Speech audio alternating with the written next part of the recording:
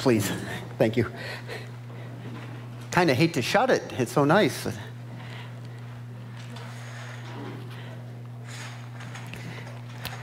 Hey, as we're getting settled in here this morning, please grab your Bible, make your way. Book of Romans, chapter 13. We'll be there in just a moment, Lord willing. I first just want to take a quick moment, couple of announcements. Um, most importantly, uh, several things going on in the body. They haven't all hit the prayer request uh, line yet, but uh, a couple of them have. But in addition to that, our brother John is home with his mother this morning. Uh, something came up, so please continue to pray for uh, our Father's wisdom as he guides our brother in his care uh, of his mother. also, today there will not be a presentation after the meal for the, the cleanup uh, just seeking the Lord on that. Like I said, uh, you can you can plan on one unless one stated otherwise. I just don't have the Lord's specific leading, and I don't really want to do anything without that. Um, also, fellowship meal afterwards. So, uh, got your Bibles open to the book of Romans, chapter 13. Let's pray. Father, you moved you moved our brother to pray exactly what was on my mind, Lord, as we were singing that. You gave us the privilege and the opportunity to speak to you, letting our requests be made known. Father, now we just add one further request. It's time for you to speak to us, Lord, by your Spirit, whether we're gathered here in person, Lord, whether people are joining us online this morning. Father, we want to hear from you. Make it personal. Lord, cause us to receive it with joy and thanksgiving. Help us to trust you to do all that you said you would, Lord. That we would see the power of, of God through your message and for your glory. We ask your will, giving thanks in faith, always in Jesus' name. Amen.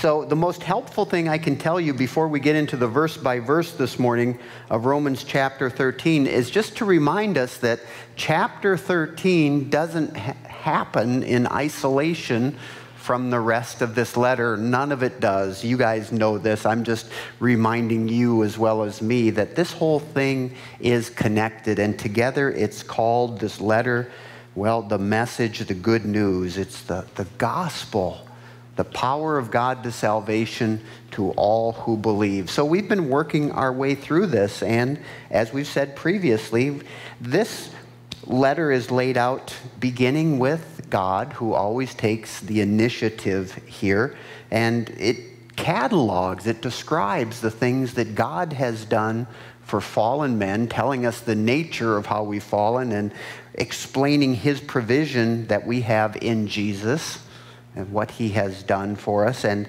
as he gets done with that, he brings us up through these first 11 chapters, throwing in three chapters of how God works with Israel and what we're to learn from those examples. And then the book takes on a decided turn.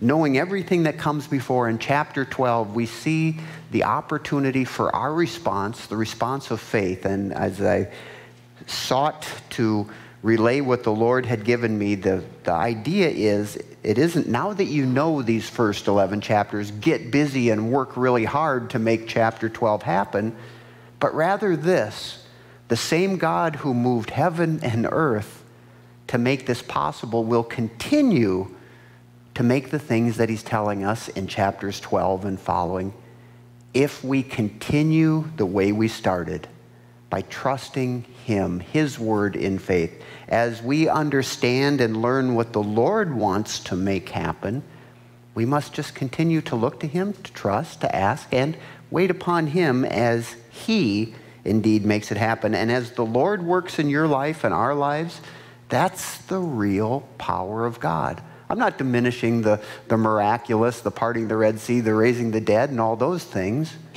But those things were signs to point us to the Word so that each and every person would see, understand, receive, believe, trust. And God would work and make the things that He's already revealed the changes in our lives to make people like us into, well, a person like him, his son Jesus. So that's what's happening here. And because this is all connected, we're in chapter 13 this morning. I, I just want to back up one verse to get our mind re engaged this morning. The Lord continues to teach us and instruct us when he says in Romans 12, verse 21, Do not be overcome by evil, but overcome evil with good. Now, again, this is the Lord doing this through us, but he's going to give us some very specific examples coming up. And he continues as we start in this morning with chapter 13, verse 1, when the Lord says, well, let me, I'm kind of getting a little ahead of myself, but I think it's helpful here to remember who did the Lord first say this to? Christians where? Rome. Good. That's going to be helpful for reasons you're going to see in a moment. But he also says it to Christians of all times and all places. It's his word. So he said it to the brothers and sisters in Christ in Rome first, and he says it to the brothers and sisters in Christ in, well, Northwest Ohio and Southeast Asia and everywhere around the world this morning when he says, Let every soul be subject to the governing authorities. You can't skip that every soul. Brothers and sisters, there's going to be a strong temptation to say, I don't think this pertains to me. Our flesh will look for some out, some loophole to get out of this. But the Lord is saying, let, just let this happen. Again, that word let, I love it because it says, not make it happen, but hey, you can just allow this to happen. And the governing authorities, specifically, as we're going to see in more detail, uh, have a specific focus on what we call civil authorities. When you think about your, your mayor, your governor, your policeman, your administration of the nation or country that you live in, the civil authorities. We know spiritual authorities, this also applies, but he's focusing specifically on the civil let every soul be subject to the governing authorities. For there's no authority except from God, and the authorities that exist are appointed by God. This is the, the big connection that every Christian first must understand, and then, well, you have to receive it and just trust this because you're going to be faced with times when you're going to see some ungodly things in play by the authorities that are put in place. And the temptation would be to think there's no way that God could be allowing this to happen. Well, hopefully, we all understand God's allowing everything to happen right now. But more than that, the very authorities, the administrations, the kings, the emperors, the governors, whatever and whenever they've been, have all been not only allowed, but by God's allowance, and His direction, they've been put in place. That is exactly what God is saying. That is exactly what the Lord wants us to understand and how we are to look at this. Now, the temptation to think that way isn't altogether bad when we see authorities do something that's not pleasing to God. The problem comes when we start to take action according to our understanding and not what God says. Now, there's one area that we're going to be clear about and upfront right away, right from the beginning. There's one and only one exception that God gives us in Scripture when you and I and we are not to, I'm going to use this word, obey the authorities the government appointed over us. And that's when the laws or commands of the government put us in direct opposition to the law of God. Right now, we have a law of God that says you obey these people. But it comes down to when obeying the civil authorities makes it impossible for us to obey God. And there are clear examples given to us to help us understand. This isn't a new thing. We're going to put a couple scriptures on the screen this morning just to kind of jog our mind. You're not the first people who've been in this position. From the book of Exodus, chapter 1, verse 17, speaking, you remember the, the times, right? When, when Pharaoh, a picture of the world ruler, and there was, well, there was a promise of a deliverer coming from the Jewish people, so his, uh, his plan was to kill all the male Jewish babies, the children, so he gave a command to the uh, medical personnel of the time, the midwives, the gals who would assist in the birthing process, that you would, well, you would destroy these children. And up front, they flat didn't do it. And we're given a little bit of insight here in Exodus 1:17 when we read, "But the midwives feared God." That was it. Do I obey the authority, Pharaoh and all his subrulers, or do I obey God? Well, if I'm in conflict about the command, always going with God. They feared God and did not do as the king of Egypt commanded, but saved the male children alive. It doesn't matter what God appointed authority tells you to murder, you don't, because God says, You shall not murder continuing on with this in Daniel, and there's actually Daniel chapter 3, verses 10 through 12. I think we take it one uh, verse at a time here. Remember the scene? It's not quite as uh, bloody as murder, but it's every bit as serious. Here's the thing it's not like you just worship the king when the music plays. Well, here we're given the account as the account is given to the ruler of Babylon. You, O king, have made a decree that everyone who hears the sound of the horn, the flute, the harp, the lyre, and the psaltery, this combined musical cacophony here, in symphony with all kinds of music, shall fall down and worship the gold, uh, next verse, 311 the golden image, and whoever does not fall down and worship shall be cast into the midst of a burning fiery furnace. There are certain Jews whom you have set over the affairs of the province, verse 12, Babylon, Shadrach, and I, got, I know you guys knew this, Shadrach, Meshach, and Abednego, these men, O king, have not paid due regard to you. They do not serve your gods or worship the gold image which you have set up. And hopefully you remember the rest of the account. In other words, to make it simple, the king of Babylon by decree said, When the music plays, you guys fall down and do that which God commands you must not do. And in short, Meshach, Shadrach, and Abednego said, Not going to do it. And they didn't. And, well, hey, what happened there? Well, there was a consequence, wasn't there? But it also turned out as an amazing occasion to not only observe the power of God, but for others to see it also and to see God glorified. They were cast into the fiery furnace, and as you remember, there was somebody else there with him. He didn't just have the appearance of the Son of God, he was the Son of God. Jesus said, I'll never leave you nor forsake you. You need to understand that and hold on to it.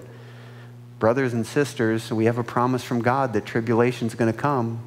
You're going to be tested you're going to be in situations. I don't know if there will be a fiery furnace, but there will be a trial and a real present threat to your well being. God will make sure of it because he did it with Jesus and he said, We're not greater than him. It's enough for us to be like him. Here's a more contemporary one, church age, that I think comes to everybody's mind Acts chapter 5 verse 29, we read the passage, but Peter and the other apostles answered and said, We ought to obey God rather than men. There was a decree that went out from the religious authorities. Hey, you don't name the name of Christ. It cost these guys, but that was their answer. Think about it, religious people who represent the Lord. Should we listen to you or God? Because you two are in conflict here. Well, their choice was already made, and so should ours. So there are clear times when you cannot. But it all comes down to one category when obeying the command would be denying God Himself, and as He has stated. So again, chapter 13, verse 1 let every soul be subject to the governing authorities, for there's no authority except from God, and the authorities that exist are appointed by God. Therefore, here's the conclusion to help us to come to His frame of reference. Whoever resists the authority resists the ordinance of God. The ordinance of God is the command of God. God has said, I command you, obey these people. If you don't go with that, you're resisting God's command.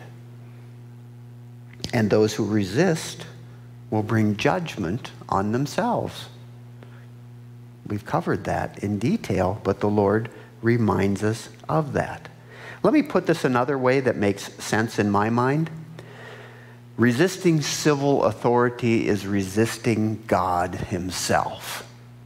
There's really no other way you can shake this out. You can't do any, any gymnastics with the original languages here. When it's a lawful command, and we have many examples pay taxes, drive this speed, don't drive on these days, wear a mask. Hey, now you're getting, well, we'll get into that a little bit later. Well, I don't think so. I'm a child. Well, if you're a child of God, you would be like his boy, Jesus, and do what he says. And it all makes sense when we think about it. And I think that's why the teaching to help us remember this when and as these things are happening. Resisting civil authority is resisting God. Here's another scripture that comes to my mind from the book of Daniel, chapter 4, verse 17. A principle is brought forward here. And we're told the decision is by the decree of the watchers and the sentence by the word of the holy ones. Again, there's a, a, quick reference to there's there's a couple levels when we talk about civil authority. There are those in the spiritual realm, and they have influence over those in the physical, right? But it goes on to say, in order that the living may know that, this is really what we're here for, the takeaway. The Most High rules in the kingdom of men. If there's a king, if there's an emperor, if there's a president, if there's a prime minister, that's God's authority that God is ruling through to accomplish his purposes. And if you're alive, you need to know this that the living may know that the Most High rules in the kingdom of men.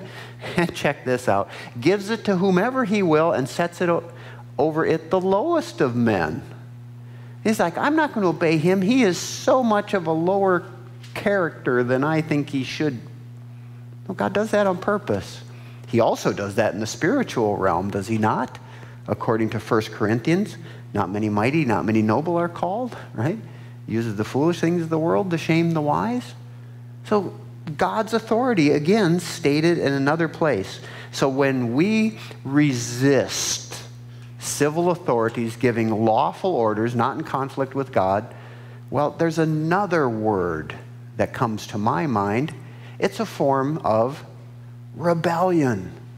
Does that prompt anything in your mind? Bring any passages to your mind? How about this one from 1 Samuel chapter 15, verse 23?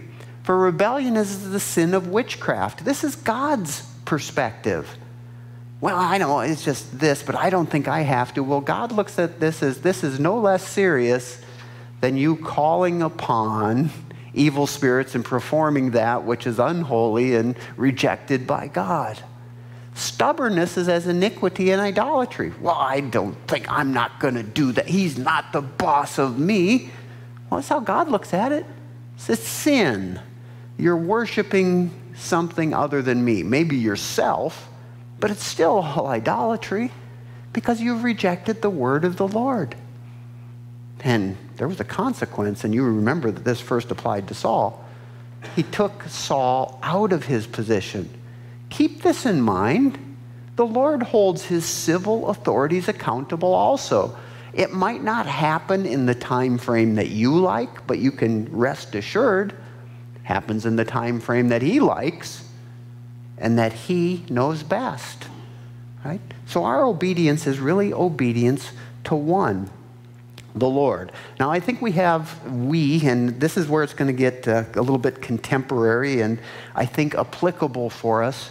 I think as citizens of this country and now this 21st century, I think we have influences and issues that other people in other nations don't. They have their own problems, right? But we've been we've been raised with a certain set of values in, in this country of independence and you know, all of these ethics. And the problem is sometimes they're just flat in contradiction with what God says. Yeah, we might be physical citizens of this country, but if you're a child of God, your citizenship is in heaven. That's the eternal one. And now you're taking a new set of directions, and you're going to find it in conflict with some of the things that, well, some of the principles this country has been founded upon. And when we speak about the foundations of our country, we can see that it was both founded on godly principles and active rebellion. Here, let me use the Bible word witchcraft if you will. That's how God sees it. Well, what do you mean? Two specific examples, and I'm going to just, uh, I won't. I won't put you on the spot, guys, but I'll, I'll give you an opportunity, young people, just to answer this. Just kind of curious, because when I was a kid, you know, and going through grade school, and admittedly this was a long time ago, but they taught us about things, about the foundations of our country, and different times of years, like Thanksgiving. You know, when we just went through this, we would do these things. I still remember this in first grade um, make things out of construction paper. I don't know if they still have construction paper, but it was a staple in grade school when I went through. And the art project for Thanksgiving was to make a cornucopia. Anybody else?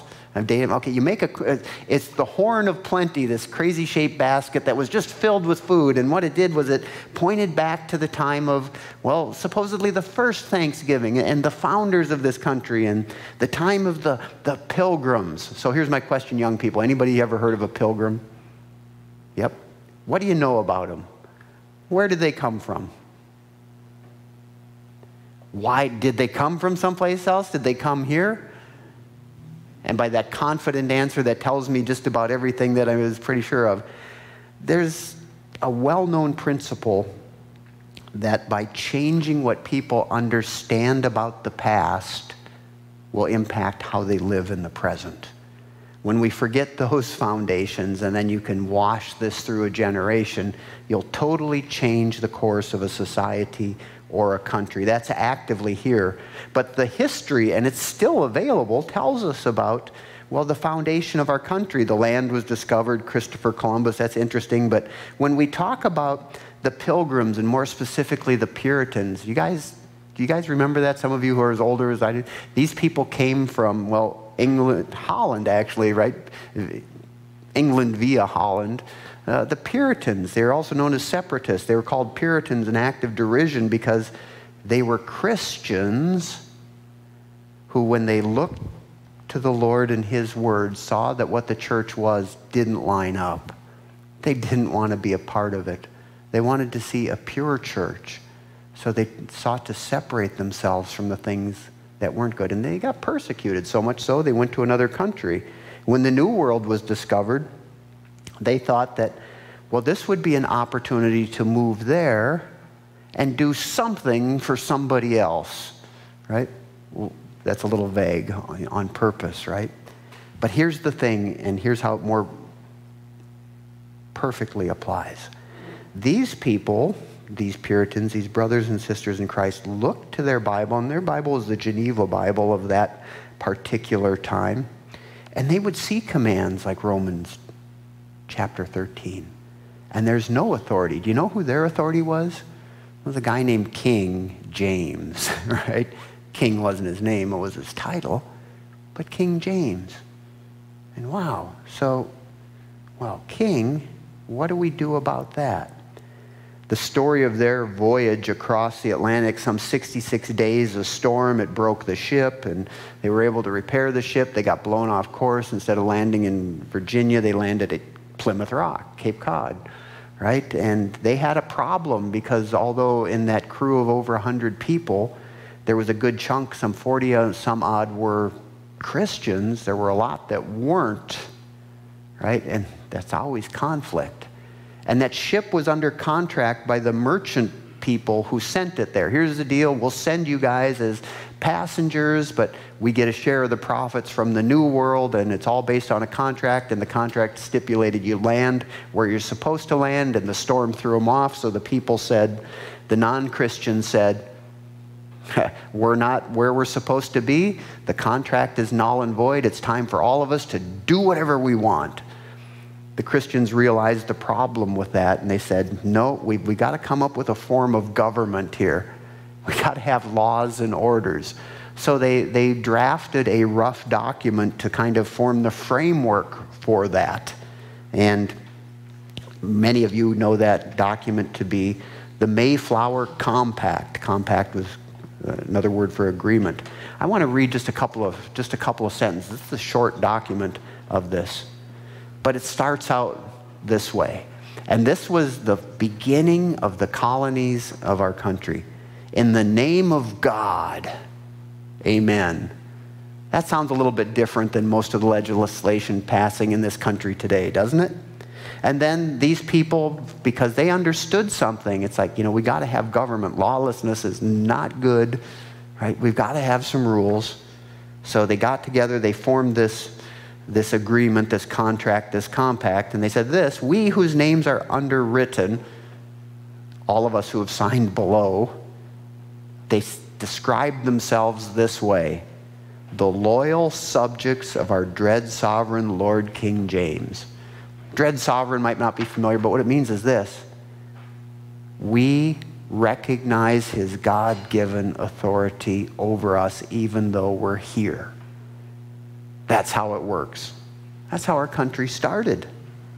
By the grace of God of Great Britain, France, Ireland, King, defender of the faith. And then they said this having undertaken for the glory of God and advancement of the Christian faith and the honor of our king and country. Does that sound like a bunch of rebels to you? No. That sounds like people who really understood Romans chapter 13 and the verses that we're looking at this morning. The problem is, it wasn't that long after, and this was the year 1620, when we get to the 1700s, there was another group as the colonies were more established that formed uh, and wrote another document, the Declaration of Independence, the Constitution. Well, they adopted another, another phrase that still gets a lot of traction today at different times, and it is in quotes, and there's some variations of this that it says, resistance to tyranny is obedience to God. Well, First off, we don't really find that in here at all. It's kind of a judgment. Well, what's a tyrant? Somebody who rules in a way that we don't like? Taxes us more than we think he should, you know, we'll dress up like Indians or so the myth goes and dump the tea in the harbor kind of thing. We'll start the War of Rebellion, also known as the Revolutionary War. That's very much a part of the founding of our country. Both teams always in play. And even today, people want to dismiss that as our country, on one hand, wanting to stand or recognize Christian principles, engages in a war of re- revolution or rebellion. And it's not the only case. How about civil war, so called? Godly men on both sides seeking God and saying, Give us victory. And God just saying, you know, you're not supposed to be fighting. Hey, didn't I write something about where wars come from? You know, you lost covenant, do not have, and you don't have because you don't ask. So you war, you kill. More Americans died in that war than any other war. It's a war of rebellion. God sees that as witchcraft. Well, here's the thing that's still popular today, and especially in today's day and age, and you see that, and people justify this. But it's not about anyone saying, you can't worship God, James allowed them to worship the Lord. It wasn't about you can't have your Bible, you can't hold public service, you're not free to worship me. It was like, no, we don't like the cut that you're taking. We don't like your oversight. It's kicking into our lifestyle. So they rebelled and they sought to say, we're obeying God by doing this. Satan is very good at what he does. He's been working it in our country for a long time. The problem with that is you just don't see that in Scripture. Remember with me a couple people in the Bible. When things got really tough, or we might even say tyrannical, oppressive, did God's people form a revolution for political overthrow? I'm thinking of Joseph, served under Pharaoh. It got a little tough for him. He was a well regarded man in prison. Did he, did he form a militia or a, a, a guerrilla warfare campaign? No, he didn't. Daniel? No, he served under many ungodly administrations. Both of these men are exemplar in that, and God honored that obedience to unjust authorities. Best always example, how about Jesus? Jesus, I mean, we're studying the book of Romans. It was the Roman Empire that put him to death, God's very ministers to do that to his son to do us good. Kind of interesting. But we remember when Jesus formed the alliance to overthrow Rome or reform Rome and taught others to do that. No, you don't, because he didn't.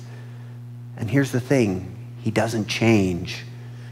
Well, anybody else? The apostles, we just checked in with some of them. We're reading one of the books that the Lord used them to write. No, the church didn't do it. But yet today we have things like the Patriot Study Bible and the Pro. No. No, it's a deception. And it can have a very real impact on us. And we have to weed through these things, all these feelings, because God doesn't say, pay your taxes unless you think it's too much. Then you can cheat and actually declare your dog as a dependent or something else. That's not something the Lord is going to honor obey your country as long as you're comfortable, your government as long as you're comfortable with it. No. No. So but what about when the government says the vaccine is mandatory? Hmm? Been a lot of talk about that lately. A lot of concern. Let me give you the short answer because I know not everybody sticks with it. The bottom line is this is to do what God says to do. But I would like to frame this a little bit more completely because we know that we're in a, in a time of what's been termed a pandemic. Vaccines apparently have been developed. They're talking about implementing them. And now there's already a talk about hey, can you fly without this? Can you travel without this? Can you, uh, I don't know, buy, sell, or trade without this? Where this is going? Do we pass laws that say every citizen must get this? We're not there yet, but they're looking at that. And if they do, what is our response?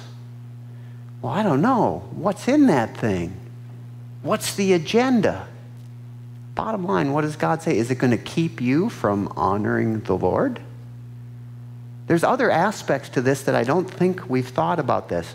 Well, let's just use common sense. God gave me a brain. Right? He gave us a brain that we would understand what he said and be submissive to him for his glory and our good. Well, Jesus is an example. Jesus would never knowingly put something harmful in his body to do God's work. Oh, wait a minute. You think they disinfected the nails before they put him in? Did Jesus not? Die? I'm pretty sure that spear was dirty. I think Jesus understood what was going to happen to him. And he tells us a servant is not greater than his master. How about untold, unknown to us, scores of saints who went to the stake, who were torn apart by wild beasts, who, as Hebrews 11 tells us, were sawn in two, right? Out of obedience to God. I'm pretty sure that that was hazardous to their health, kind of thing. But the tendency for all of us, brothers, is to say, you know what? I can obey God, but not, I can obey the authority, but only if it's what I like or what seems good to me.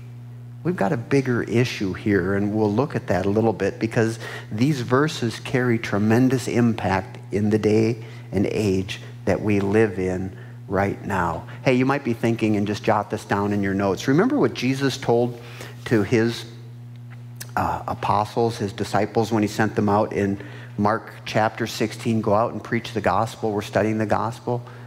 He said, you know, things might happen. He said, signs will follow. He said, you know, you'll trample serpents. If you drink anything deadly, it won't harm you. That doesn't mean that things can't and won't happen to us, but that means that nothing will, as long as we're in the center of God's will, that He doesn't allow. If we're really looking for the power of God to accomplish His purpose, we should let Him define it, as He's seeking to do for the church in Rome and for the church in us. Here's a question that I think is really helpful. It's the one that the Lord uses with me when I face these things. And the situations change, but it's always the same, the same sort of impact on me. There's a situation. It might be a vaccine. It might be a new law, a new tax rate, and something of me doesn't like it. It's him impinging on my lifestyle or my comfort. Here's the question that's helpful for me to ask myself because the Lord says, test all things, examine yourself. When faced with these kinds of situations, ask yourself, am I more concerned about my personal comfort or God's glory? Most of the time, I would say all the time in my flesh, I'm more concerned about my personal comfort. But Jesus wasn't. Paul wasn't. The Holy Spirit still isn't. Jesus isn't either.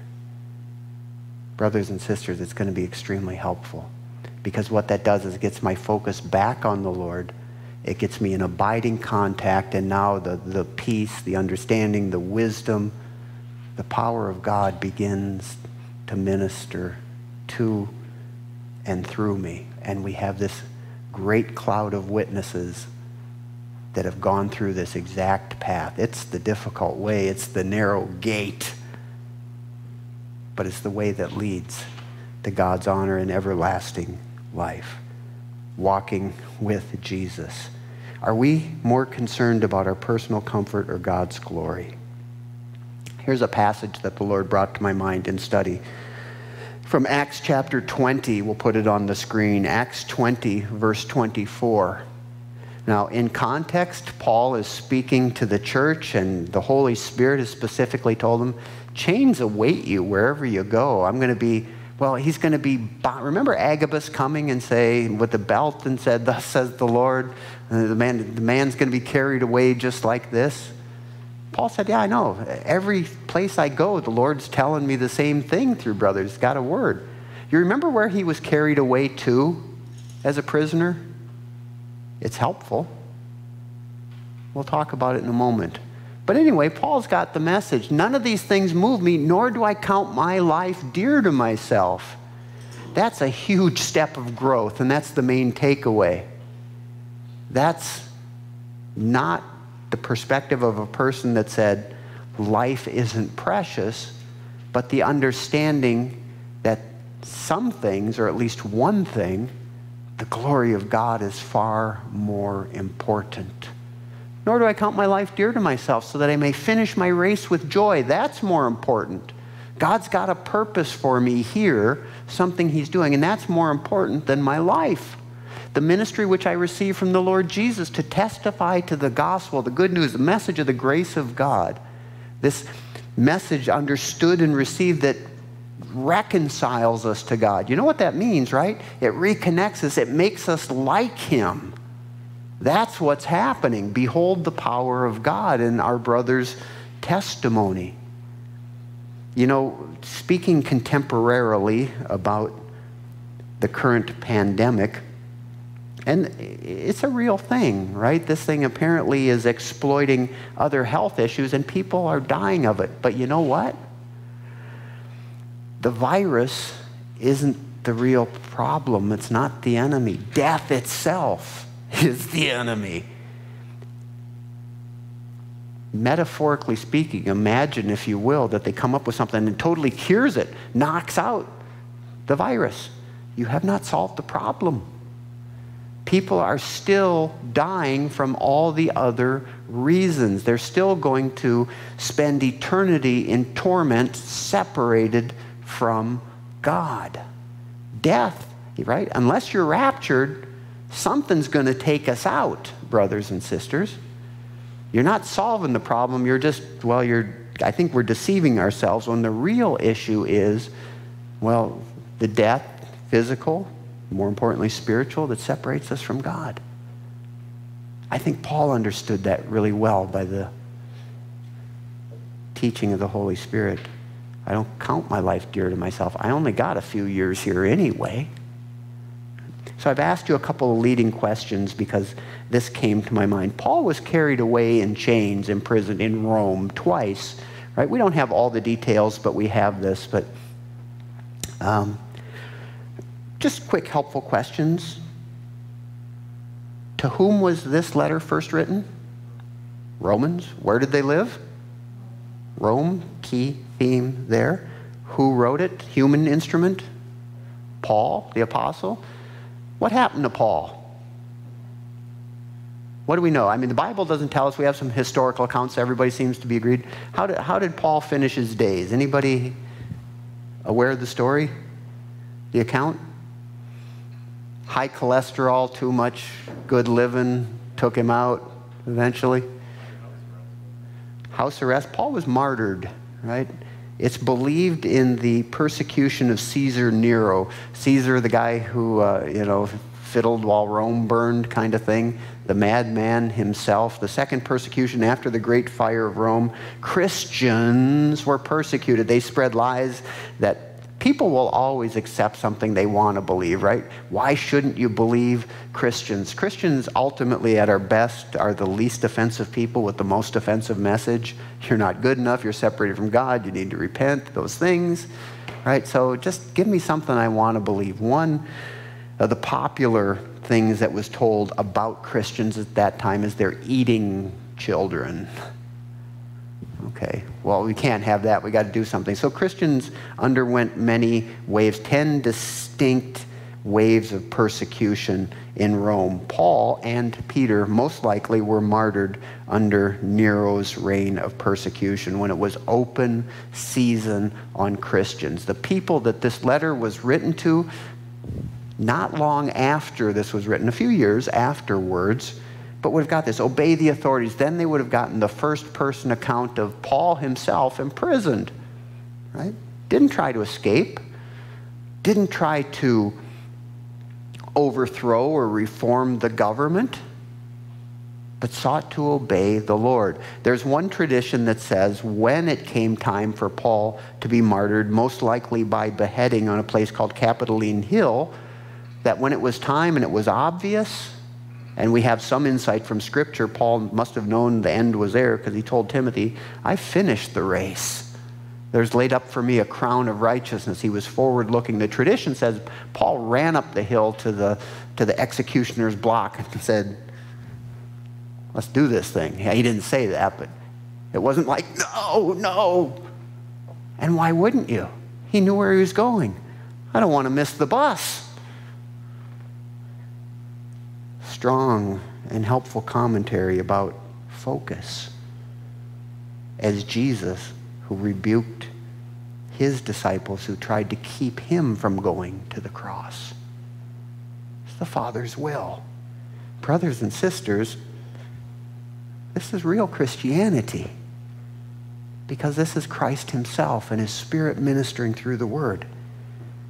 Let every soul be subject to the governing authorities. Oh, it might be helpful to, to mention this too. And when the Christians that saw this, if, if you ever, the Lord ever leads you to Rome, you ever get a chance to go there, I've not been there, but this is on my list if the Lord would send me things to see.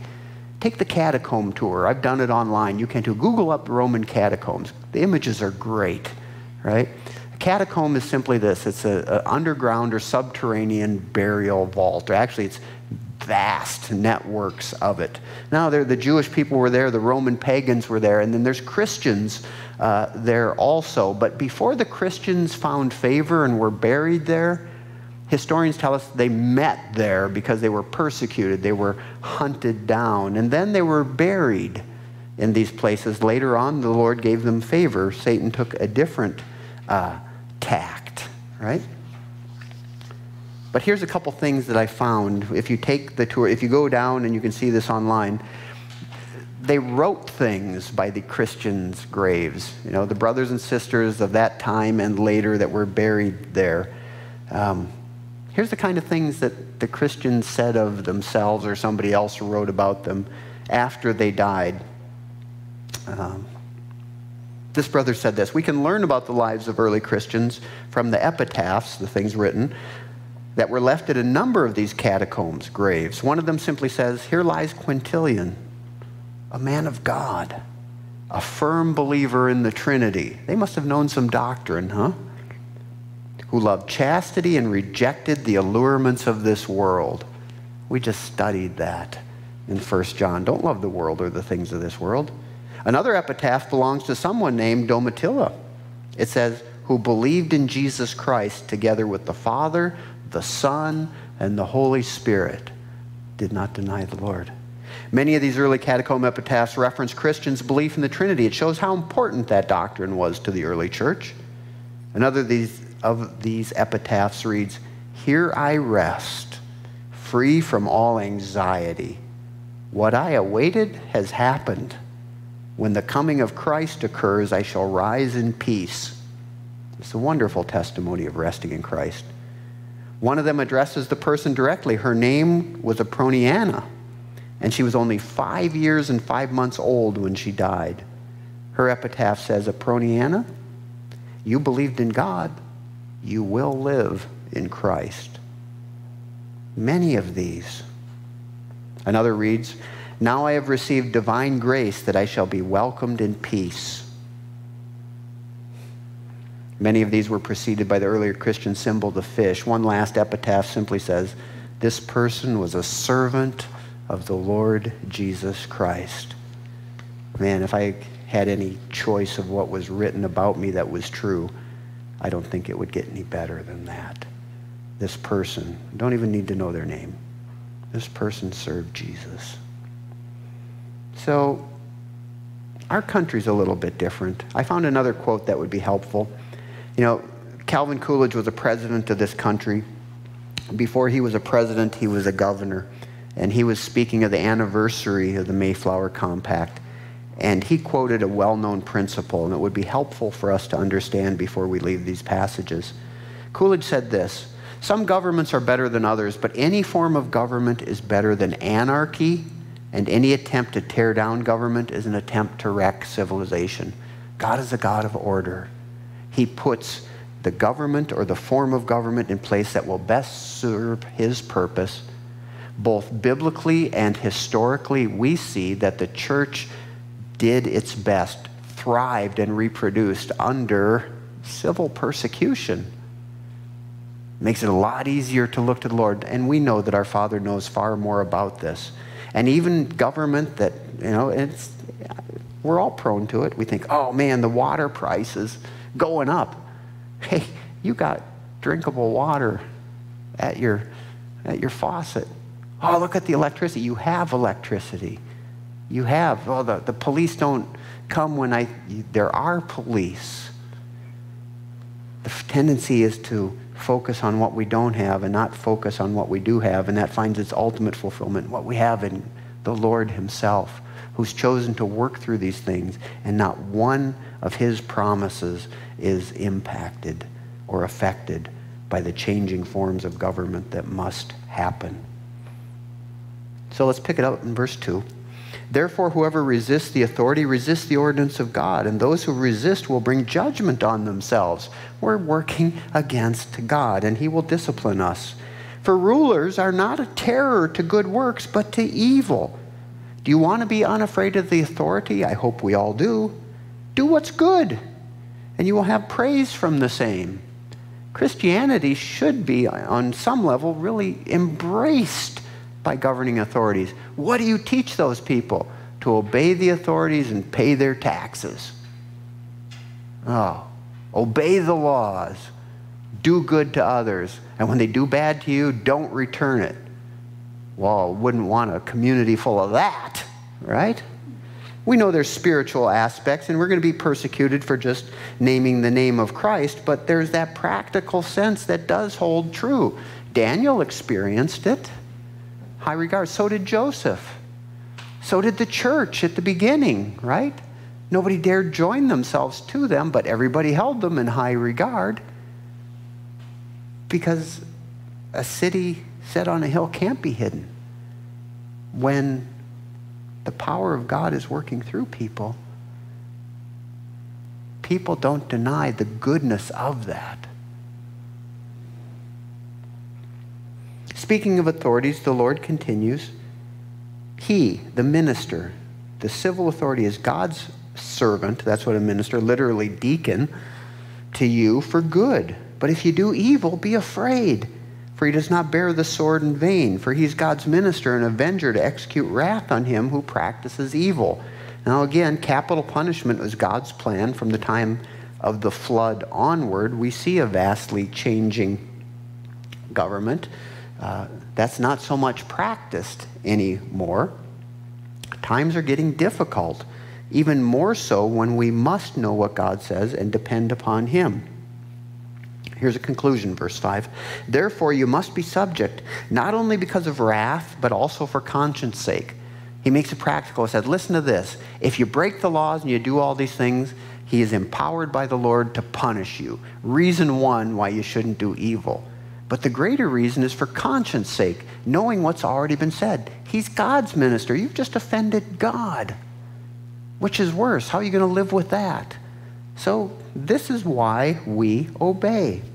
And it goes further, verse 6 For because of this, you also pay taxes, for they're God's ministers attending continually to this very thing. This might help you when it comes time at the end of the year or quarterly or however it's done with you to pay your taxes. I'm supporting the administration of God. Thank you, Lord. Direct this. Would you like some more? Well, that, that's, a, that's a leap that none of us are willing to take, right? But render to Caesar what is Caesar. You don't have to render more than what is Caesar, but render to God what is God's. All honor and respect. And part of this is to respect his authorities. Now, verse 8 is a bit of a transition, but it's also a recap. It forms the bridge to where the Lord takes us next in this letter.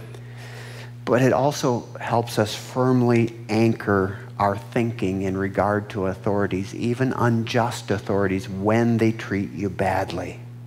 What should be my response to these people? Well, the Lord makes it clear owe no one anything except to love one another. What, what should be my response? What do I owe this guy? Well, as we're abiding, one thing comes out fruit of the Spirit is love. The Lord says this very clearly. Owe no one anything except to love one another, for he who loves another has fulfilled the law. Now, talking about laws, and he's going to recount a couple of them as we even have previously. For the commandments, you shall not commit adultery, you shall not murder, you shall not steal, you shall not bear false witness, you shall not covet. And if there's any other commandment, all are summed up in this saying, namely, you shall love your neighbor as yourself. Neighbor isn't just the guy who lives next door, it's the people you interact with in your community. And if you think about it, you might even know the, the policeman who patrols down. the, You might know the mayor. You might know. They're all, in a sense, your neighbors as well. Verse 10 tells us love does no harm to a neighbor. Therefore, love is the fulfillment of the law. Right now, it's an if, but one day it's going to be a when. In God's redeemed, completed plan, when Christ comes back and rules, King of kings, Lord of lords, love will be the law of the land. Love for the Lord and love to ourselves. That's the greatest commandment of the law, right? All of them hang on this thing. You shall love the Lord your God with all your heart, soul, mind, and strength. Love your neighbor as yourself. We kind of struggle with that, and we'll talk about it as we conclude today. But that's what the Lord says. Remember what we said at the beginning? If the Lord says that, it's not up to us to make it happen. But the Lord says, hey, just let that happen. Romans has taught us that God has already poured forth his love. It's not me in my best efforts trying to make that happen, but it's me yielded to the Lord and the Lord through me saying, well, this guy's unjust. Yeah, he must not know me, and if he does, He's not abiding in me. Is there any way to help him? If only someone could show him a tangible example. Oh, but he just did something evil to me. Yeah, but don't be overcome by evil. Overcome evil with good. I think this takes us all the way back to chapter 12, verse 1 and 2. Present yourselves to the Lord as a living sacrifice. It's all connected. Let the Lord use his property to accomplish his purposes. I've got no problem with that. None of us do until we realize we're his property. Your life is not your own. You're bought at a price. That's what redeemed means. Let the Lord love other people through you. And do this. Now, this connects us all the way back. Do these things. Do this knowing the time. Hey, if we could have said it was tough in Rome, and it was, well, by virtue of the prophetic fulfillment, it's going to be a whole lot tougher in the days to come as we get closer. Jesus told us about that. It leads up into a time like no other. And the Spirit of God, through our brother, says the church, and I think he says it more loudly to us today do this knowing the time, that now it's high time to awake out of sleep. We might have think, you know, the church might have been a little sleepy on this, a little slow to pick up on these things, and slower yet even to practice these things. But the Lord knows, and if His Spirit is speaking to us, is that if, if you're thinking that we're in the, the end of the end times, it's high time to awake out of sleep, for now our salvation is nearer than when we first believed. Two very important things in that last sentence. First off, logically, every day that goes on, and we don't have a guarantee that this day finishes before the rapture, but if it does, we know we're one day closer. But here's the second thing closer to what? Well, what the Lord just described is our salvation. Wait a minute, didn't we just say this was written to Christians?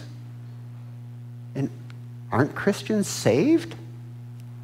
Well, it's just another reference to what Scripture teaches. Salvation is not a one time act, but an ongoing promise, a process that includes many parts. Let me give you a, just a couple of support scriptures quickly here on screen. Hebrews chapter 9, verse 28 tells us. So Christ was offered once to bear the sins of many. To those who eagerly wait for him, he will appear a second time apart from sin for salvation. We're talking about when he appears, we shall be like him, as First John says, right? And that's, well, that's glorification time right there. Another verse, 1 Peter chapter 1, verse 5, tells us of Christians who are kept by the power of God. Oh, I love that phrase. Through faith. As we trust Him, we see God's power to make His will happen for salvation, ready to be revealed in the last time. So, quickly for review, we know salvation is God's process that He accomplishes, and it consists of many parts. And what he's told us is that he's chosen us in him before the foundations of the earth. He has drawn us to himself, and he's redeemed us. We've been justified or born again. We go through this growing process of sanctification, practically becoming more like him. The whole process wraps up, if you will, when we're face to face with Jesus and free of, well, free of this body of death, right? So he's looking at the end of the salvation process, not well, I'm justified, therefore I'm saved. Now, now what do I do? That's always a pitfall. So the Lord tells us in this passage here that we should walk properly as in the day, not in revelry and drunkenness, not in lewdness and lust, not in strife and envy. Oh, I left off verse 12, excuse me. The night is far spent, the day is at hand. Therefore, let us cast off the works of darkness. Let us put on the armor of light. Light is always the, the metaphor for walking correctly with the Lord by faith. It's God living his life through us. Let us walk properly as in the day, not as in revelry, partying, drunkenness, self explanatory, not in lewdness, that's explanatory too, and lust, not in strife and envy, right? No Christians out there holding the uh, Antifa signs or the, the BLM signs or I didn't get my way and I'm upset about it sign, right? And you're going to pay sign. No, that's not us because that's not Him. We're told, put on the Lord Jesus Christ. We're told that also in Ephesians. It's explained many places and make no provision for the flesh. We're going to wrap up here with, I think, the most important thing. Not a list of do's and don'ts, but where the Lord puts his focus as he transitions. Now, he told us specifically about obeying the authorities, and we know that there's some conflict, and we know there's some concerns, and there's some worries about that which must come. But you know what? The Lord doesn't have worries. If we do, we're not resting in him, we're not walking in him, we're not trusting in him. The Lord does have concerns, right? It's the lost, those things. We're told to put on the Lord Jesus Christ. In our study on Wednesday, the Lord gave it to us in stereo. He said, He who says, I know him, ought to walk, just as he, Jesus, walked. That's still true for today. So, our response to people, the person of the Lord, his creation, owe no one anything but to love them. Right? How does that happen? This message is the power of God. Well, the power of God works by grace through faith. We, this is what the Lord says. This is what the Lord wants to do. I can let it happen. He gives us His word to recognize what should be happening, to recognize when it's not happening. A little helpful question to test myself. Well, where's my focus here? Am I more concerned about my personal comfort or His glory? Oh, His glory. Oh, am I, did I respond in love to this person? Did I respond in love to the Lord? How do I know? Let's finish up here together. Uh, 1 Corinthians chapter 13.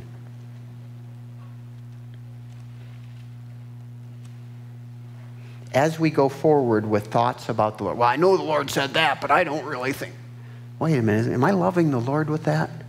Well, that person just did something terrible to me, so I'm. And maybe we don't do anything, but the Lord is looking at our hearts. Do I think that? Like, how do I really feel about the authorities when they keep encroaching on my liberties? When they pass legislation that I just don't think they should, if they do? Well, 1 Corinthians 13, God tells us, Though I speak with the tongues of men and angels, but have not love, I become sounding brass or a clanging cymbal. Though I have the gift of prophecy and understand all mysteries and all knowledge, and though I have all faith so that I could remove mountains, but have not love, I'm nothing.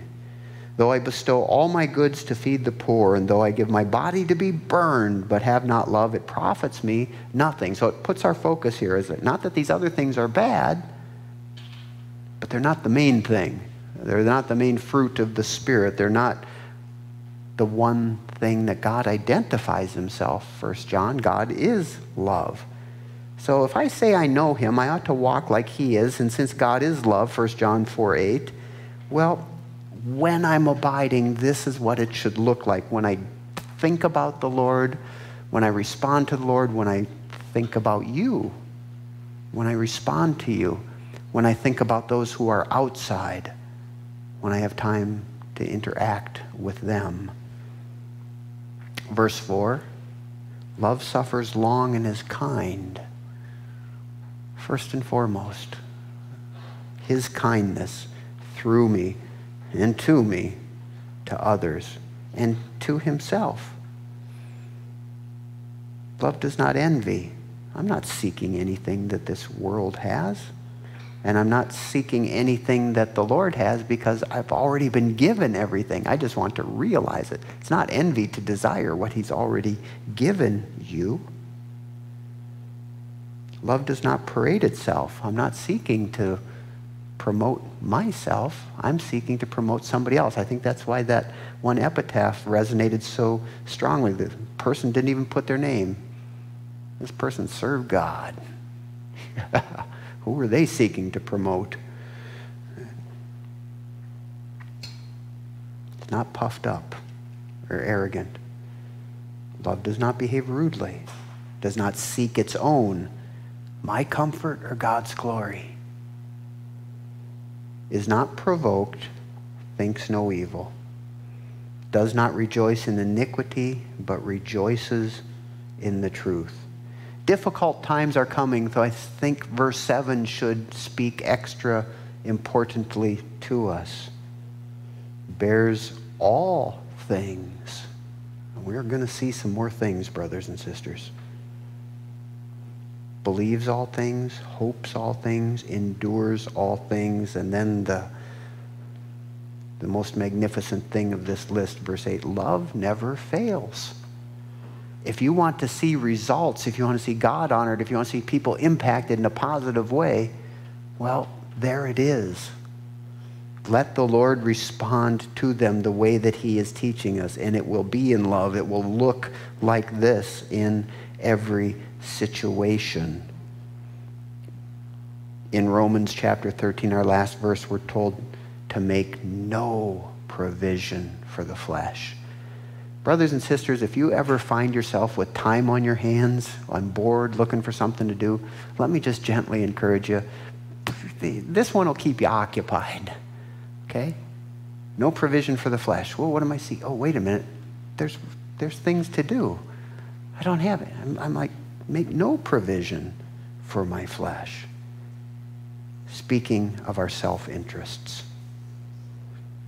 Again, this particular section of Romans 13, as he focuses on his nature as love and what comes through us, helps us to understand Romans chapter 12, verses 1 and 2. Present yourself as a living sacrifice. Why wouldn't I? I love the Lord. I want him to have his way. He's proven his ways are better for me. Father, have your way. His ministers are an extension of him. Why wouldn't I obey him? I love him, and by extension, I love the fact that he's given me at least a somewhat orderly society with the full assurance that it's going to be perfect. But right now, I have a chance to be used by him to influence others to come to him. And, well, the way I respond to his authority is a powerful witness. Oh, and things will get difficult. People will say horrible things and do horrible things to you. Yeah, but the Lord isn't pouring out his wrath on him, on her, on them at this time. And he's not instructed me to. He said, rather, do not be overcome by evil, but overcome evil with good. There is no greater good than love. For he who loves is of God. Let's pray. Father, we thank you for this time. Lord, at the very beginning, even before we gathered here to, to hear from your spirit connected with your word, we sang the song. And I believe, Lord, your spirit was preparing us and it was already prompting us. Open our ears, open our eyes. We want to hear you, we want to touch you. Lord, I'm praying that you have touched us, you have spoken to us. Things that are impossible for us, Lord, but not for you, teaching us, Lord, that we must depend on you, we must look to you. I want to pray for myself, Father, and all my brothers and sisters, and those who might be uh, listening even to the recording, should you so choose. There's no part of your word that is less or more important than the other. It's all necessary. Lord, let not the word that you have spoken, that you have preserved in your book, be either picked up by the birds, Lord, or fall among stony places or choked out by weeds. But let it find fertile soil, good prepared hearts. Lord, that through it you would bring forth abundantly your fruit for your glory. These things and all your will we ask as we give you thanks in Jesus' name. Amen. Amen. Shall we stand and sing his praises?